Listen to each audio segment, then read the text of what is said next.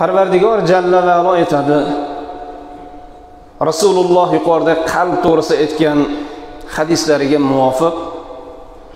Qalbning orom olishligi qalbning sog'lom bo'lishligi nafaqat bu dunyoda.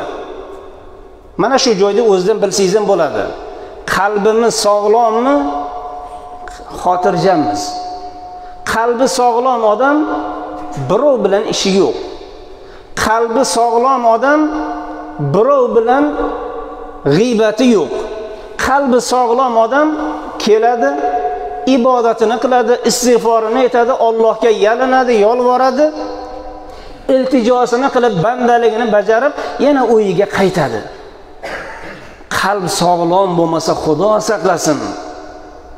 Uning na yurishida na turishida na gapida na xatti harak birortasida xotirjamlik degan narsa bo'lmaydi. Bundan xudo saqlasin.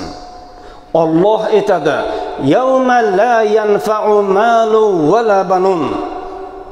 Oxirat kuni shunday kunki u kunda la yanfa'u mal. Mana bu dunyodagi molu dunyoyilar manfaat bermaydi foyda bermaydi. Vala banun. Va bu dunyodagi bola chaqalaring ham foyda bermaydi qiyomat kuni. Joniylarga bitta aro kiradigan narsa bor.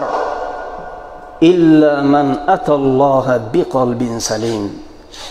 Kim oxiratga Allohning oldiga sog'lom qalb bilan borsagina ana o'sha sog'lom qalb ularga foyda beradi ularga manfaat beradi deb marhamat qiladi.